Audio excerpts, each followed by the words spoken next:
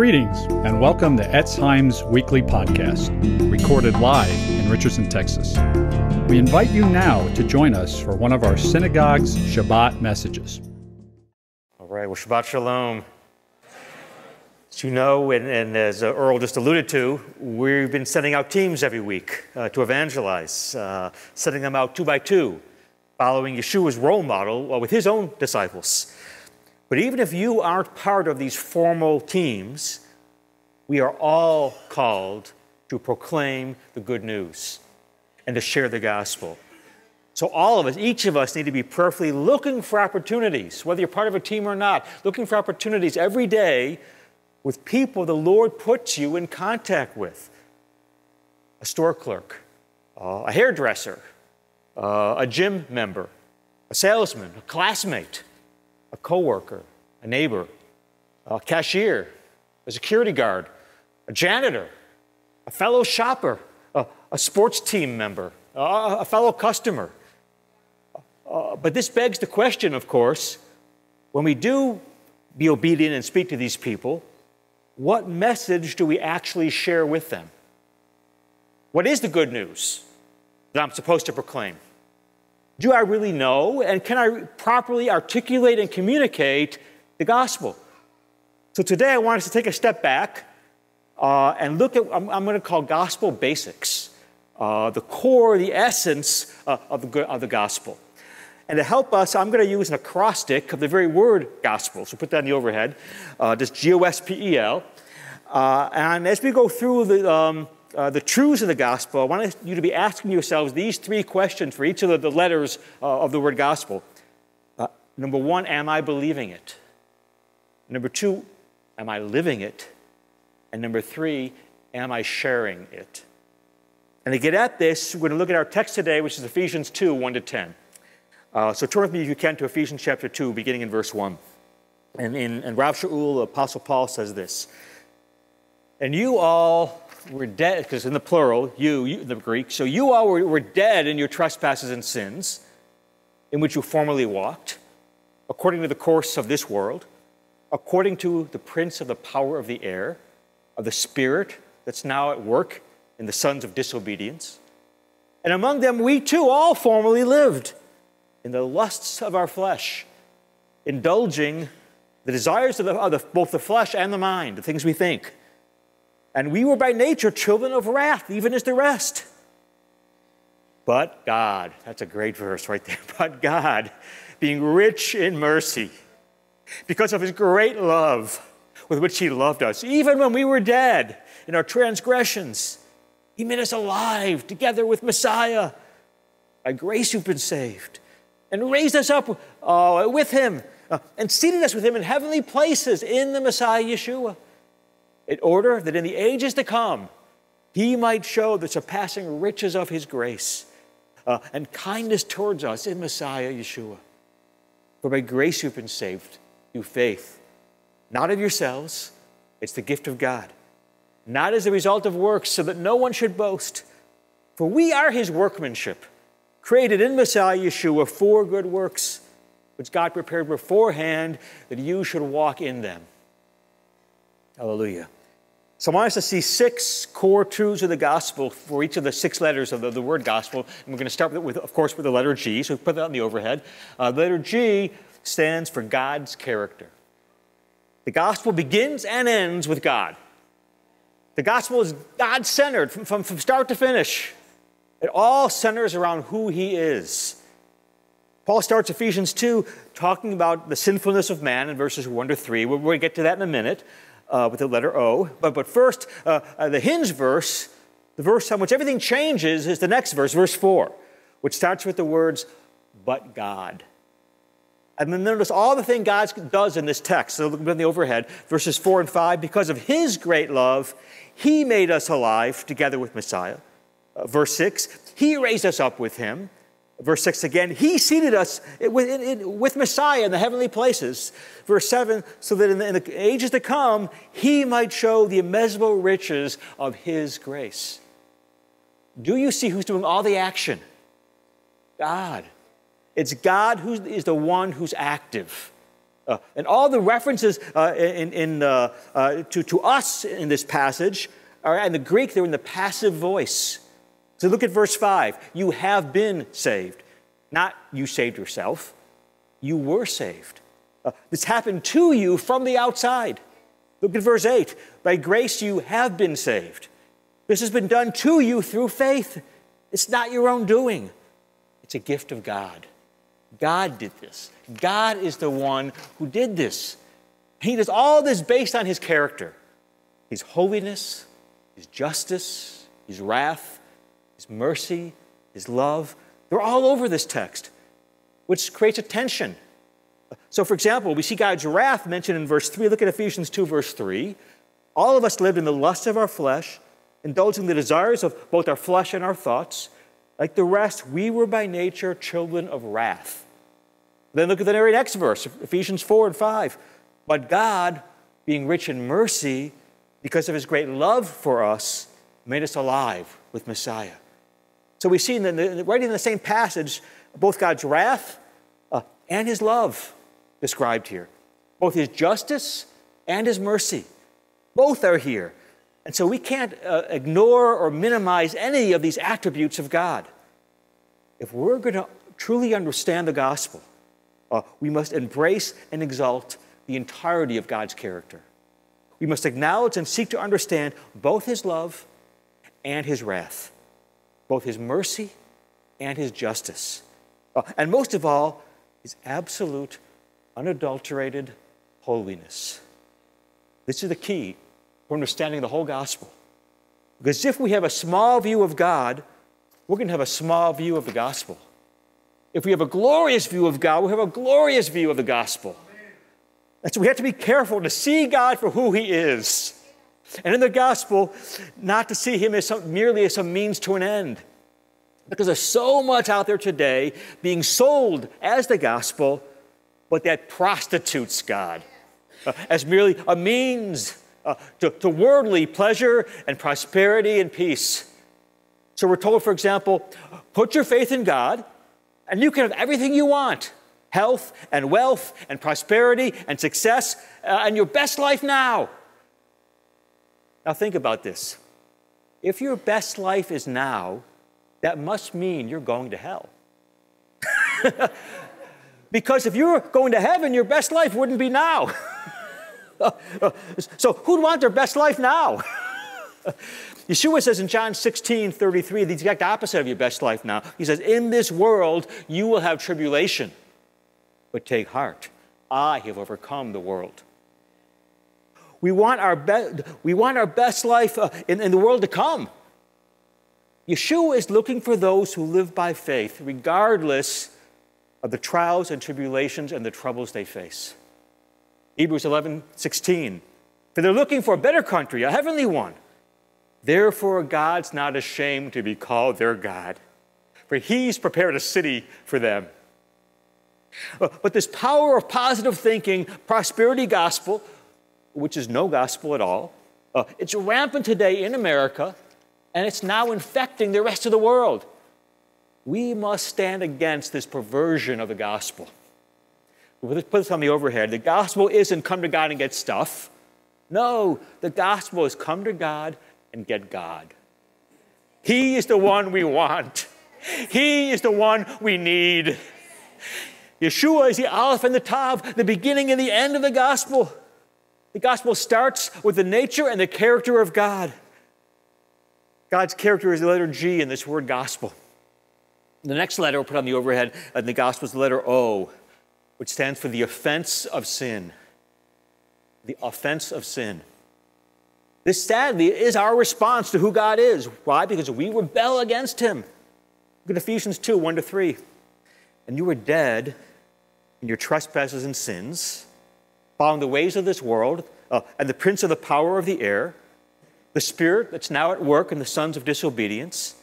All of us also lived among them at one time, gratifying the cravings of our sinful nature and following its desires and thoughts we were by nature deserving of wrath. And then Paul repeats it again in case you didn't get it in verse 5. Ephesians 2 5. We were dead in our transgressions.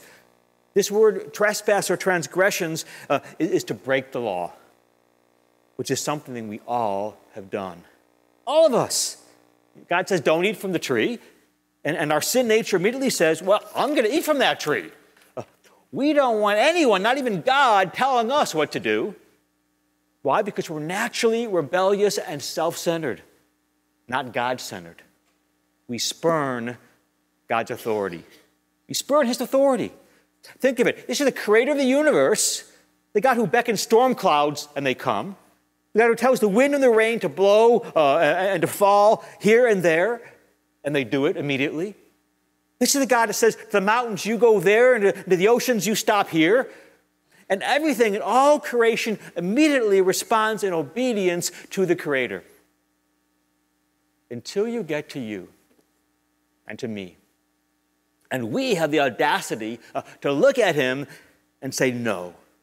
No, we want to do things our way. We rebel, we transgress, we transgress, uh, and as a result, we are dead in our trespasses and our sins. And Paul repeats it in verses 1 and verse 5 for emphasis. You're dead in your trespasses now, and if nothing changes, you'll be dead in your trespasses forever. So, this is our great problem. Understanding and communicating the gospel requires that we have to be clear about this problem. Indeed, this is typically and often the key missing link in most modern presentations of the gospel. We fail to adequately talk about sin. We fail to show the person that they are a sinner. We fail to show them the consequences of their sin. We fail to emphasize it's not those individual sins that you've done this or this wrong, but that you have a sin nature. And most of all, we fail to exhort them to repent as a key plank of the gospel.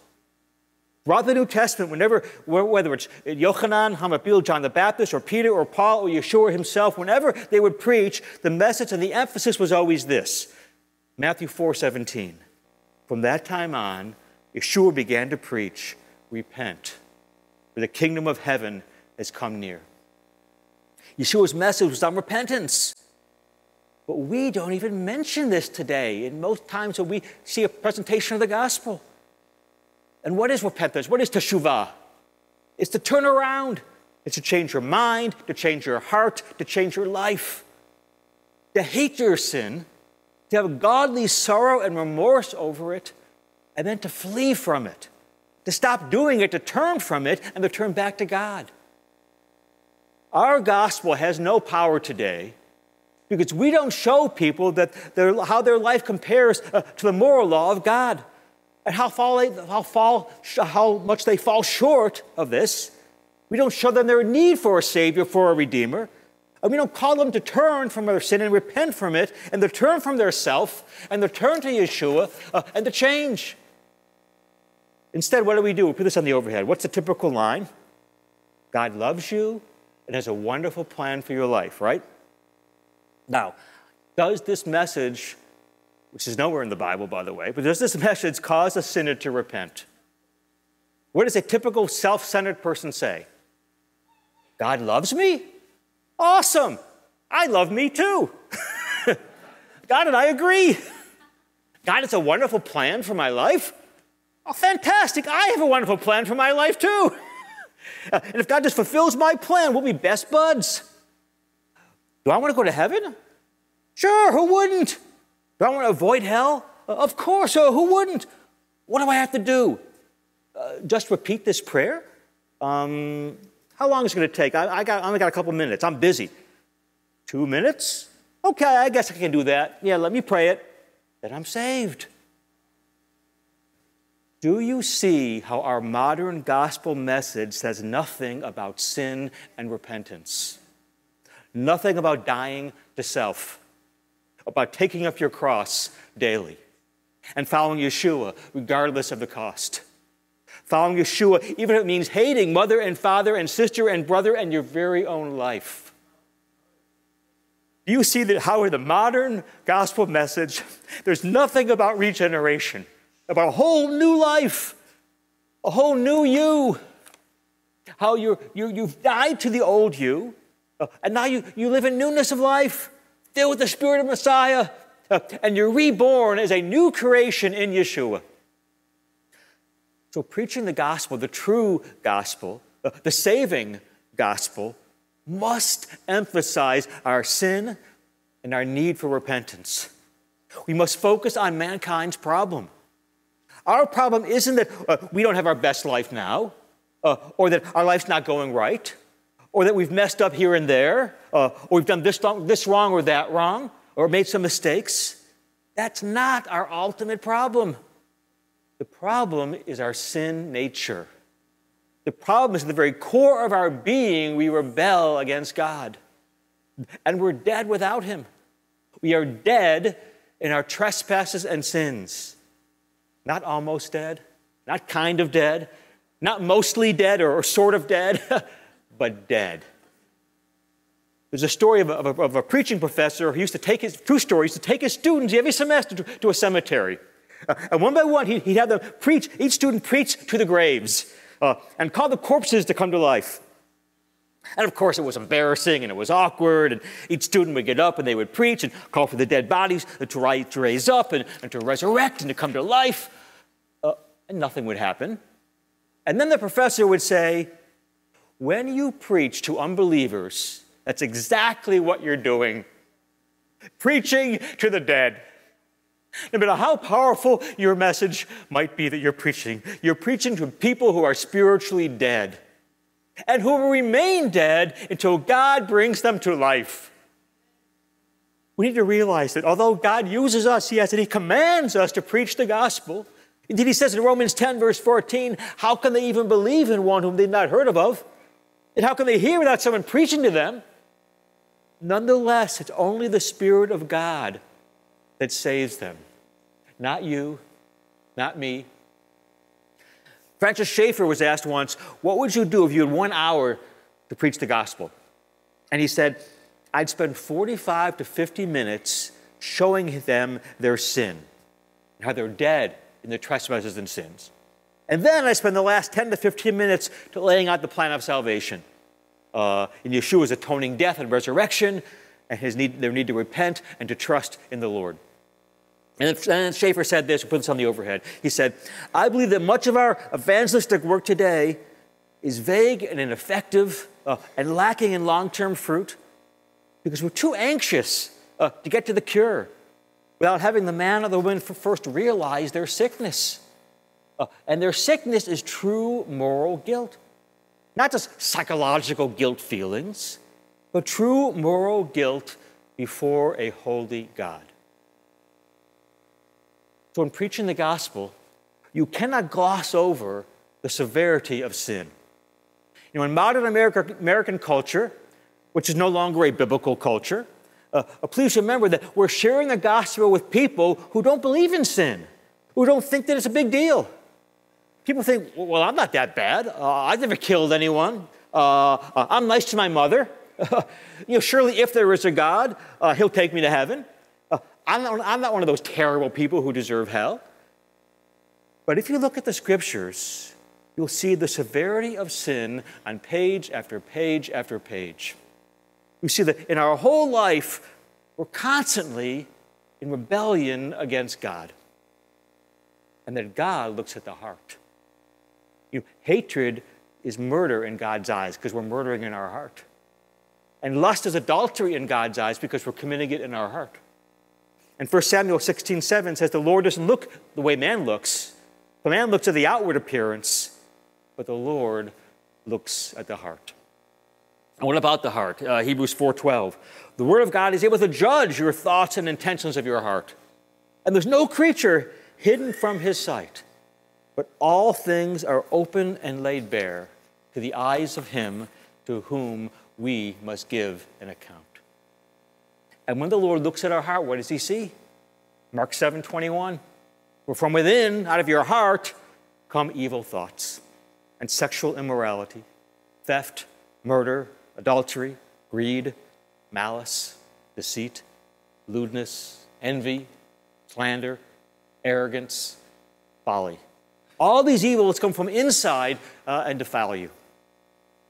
The problem why we're no, is why, why we're no longer cut to the quick when, when we read a list like this the reason why we don't cry out, God, have mercy on me, a sinner, is that we have a man centered perspective on sin. We'll put this on the overhead. Uh, the, the severity of sin and the punishment it deserves is not determined by how big or small we think the sin is, but by the one who sinned against. So, for example, if you sin against a rock, you're not very guilty. If you sin against a man, you're guilty. If you sin against an infinitely holy God, you're infinitely guilty. Next overhead.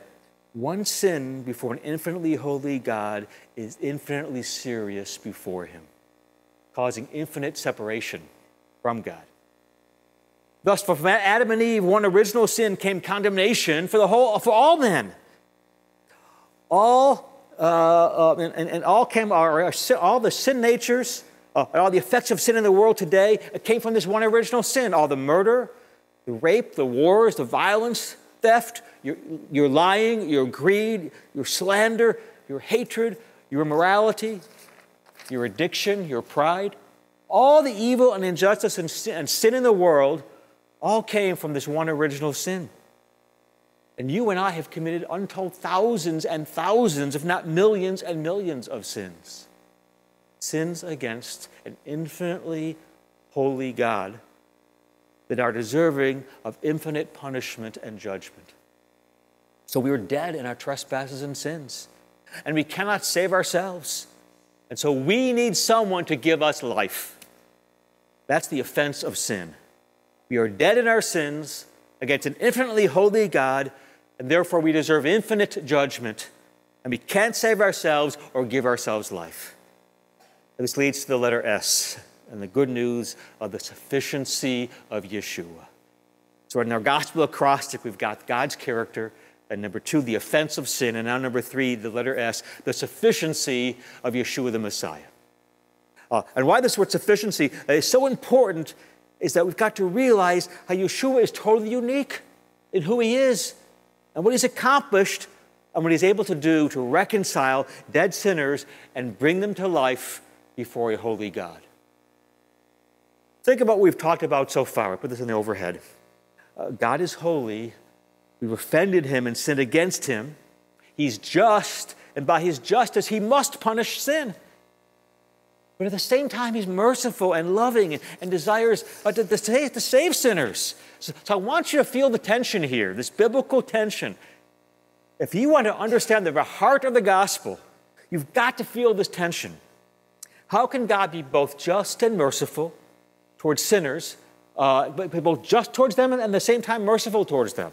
Uh, that's the ultimate question of the Bible. How can a just God save rebellious sinners who rightly deserve his wrath. Now, in our modern secular culture, we don't appreciate this tension. We don't even see this divine dilemma. We just assume that if there is a God, uh, he must be loving and gracious and merciful and, and forgive sin. We bristle and are offended at the notion that God would punish sinners because we have a very man centered view of God. And we no longer believe in objective morality and truth uh, and absolute standards of right and wrong, of good and evil. Instead, we wag our finger accusingly at God. We put Him on trial, we put Him in the dock, and we say, How can you punish sinners?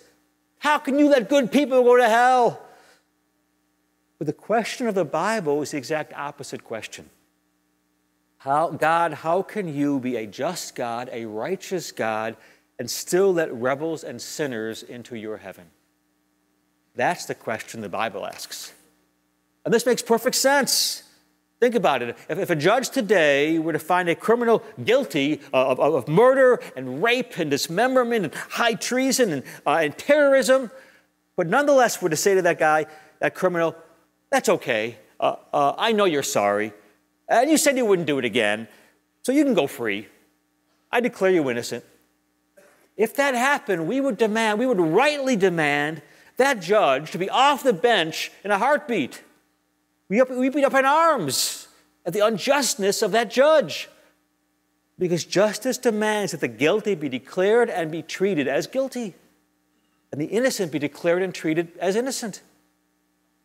So, how can God, who's totally just, look at us who are totally guilty in our sin and say that we're innocent. Indeed, in this sense, God's forgiveness of our sin is actually a threat against his very character. God can't be just and just accept our sin and our rebellion and, and, and our cosmic treason uh, against his authority. So the question is how can God be just and yet merciful to us, wicked sinners, at the same time? It puts on the overhead. Uh, this is the ultimate question of the universe.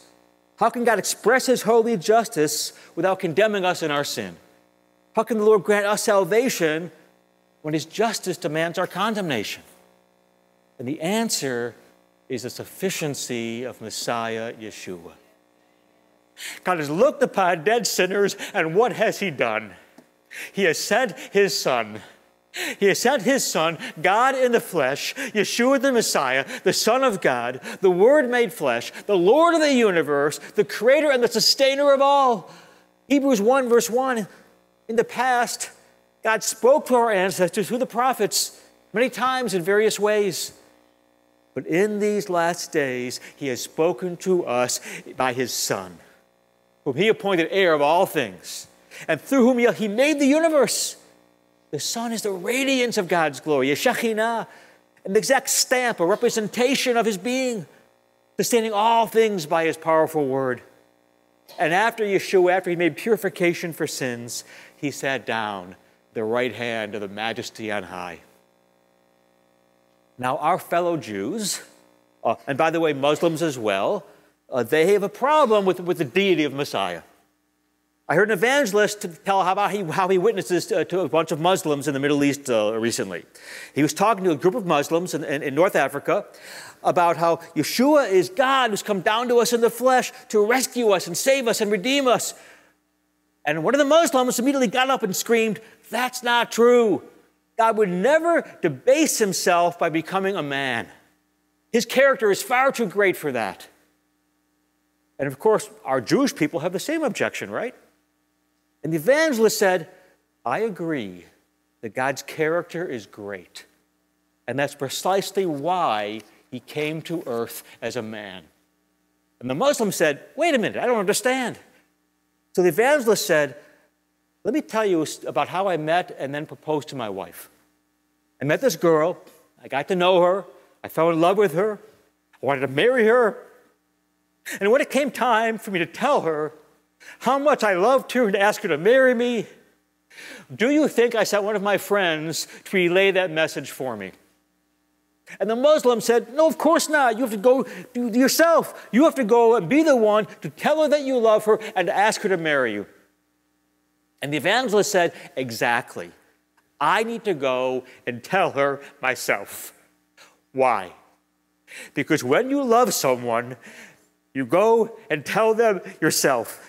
Because in matters of love, you must go yourself.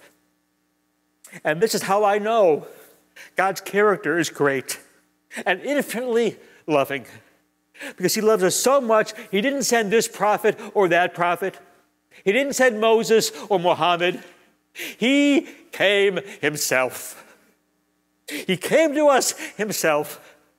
And most of all, to show us how much he loved us by laying out his life for us to take upon himself the penalty for our sin that we deserved to bear, and to therefore make a way for us to have a personal relationship with him.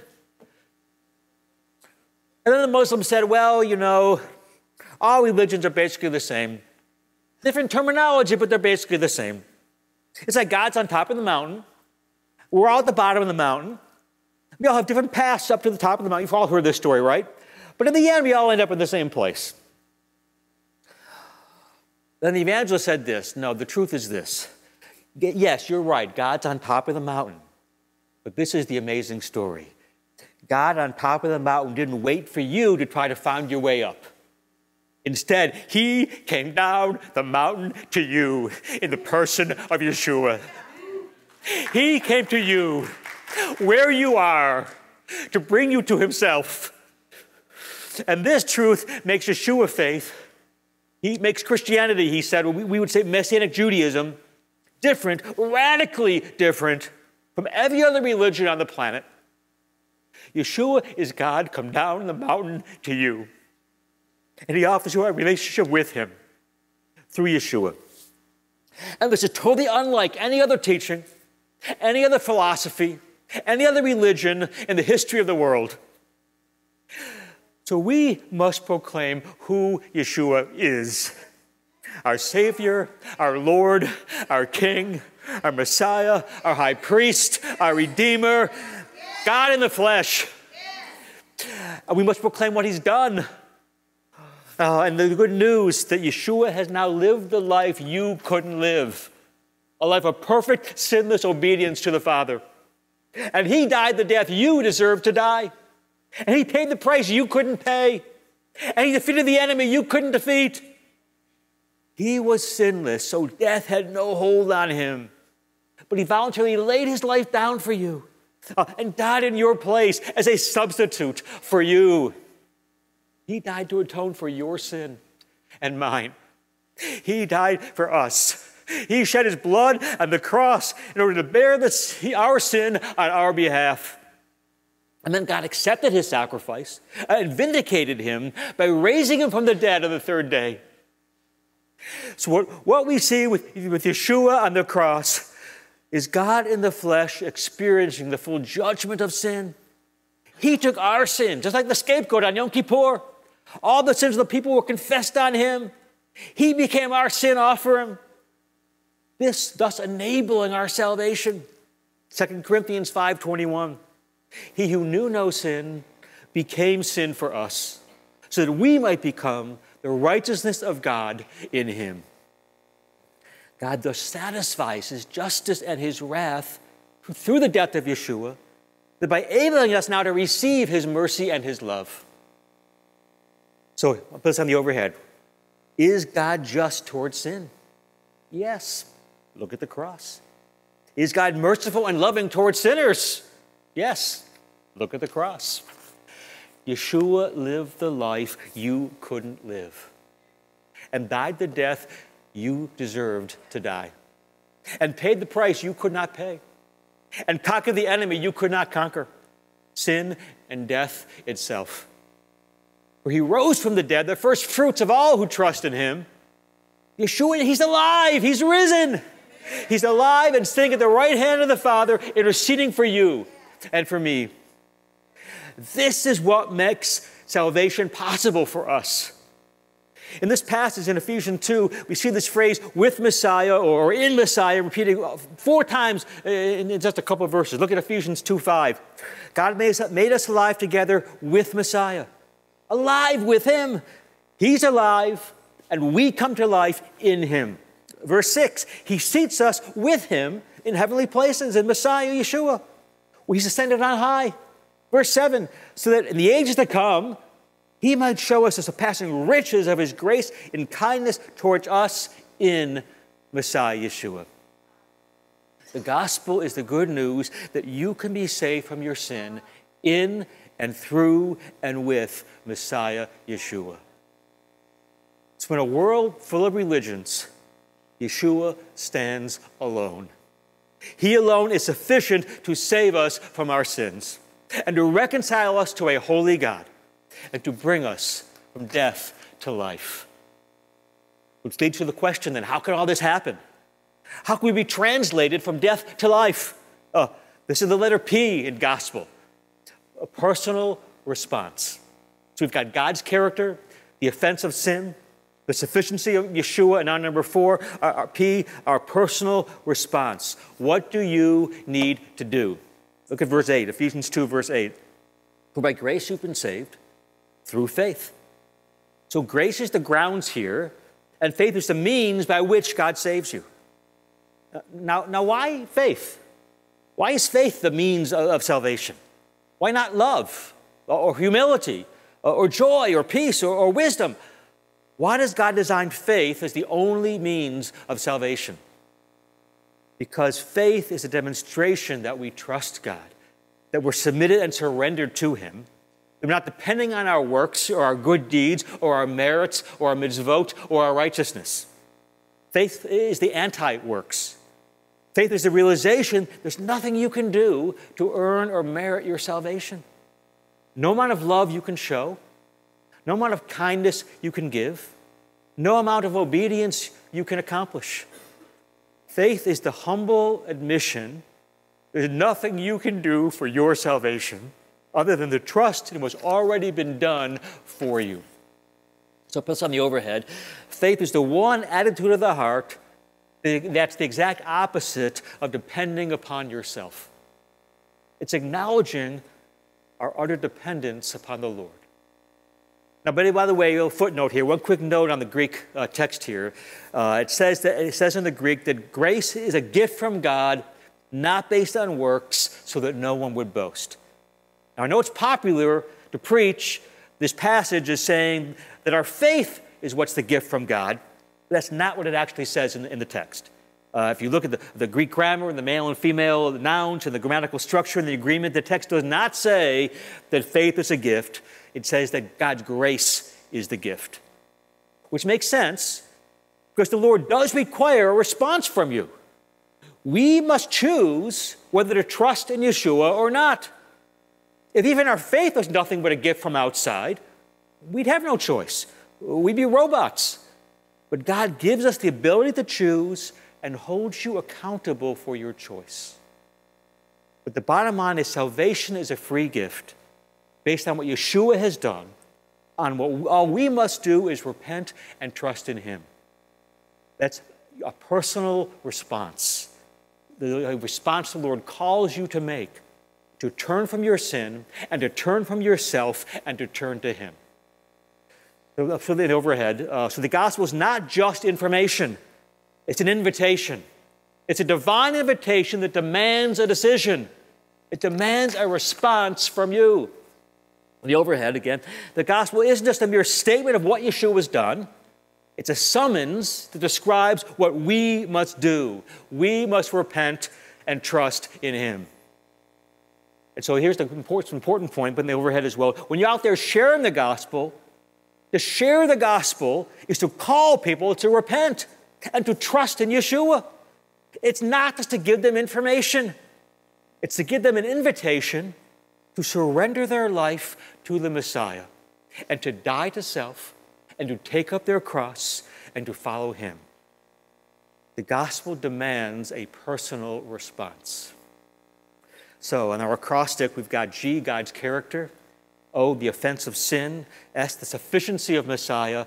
A P, a personal response, which leads to E in the letter, uh, letter E in gospel, eternal urgency. Eternal urgency. Look at verse 7, Ephesians 2 7. So that in the ages to come, in eternity, he might show the surpassing riches of his grace and kindness towards us in Messiah Yeshua. The gospel has ramifications for the ages to come, for all eternity, for each one of us. Heaven is a glorious reality for all who trust in the Messiah Yeshua. And at the same time, hell is a dreadful reality for all who don't trust in Him, for all who die in their sins. This doctrine, the reality of hell, it's almost never spoken of anymore today by preachers uh, or pastors or rabbis or teachers. Yet Yeshua spoke of this more than almost any other topic he spoke of.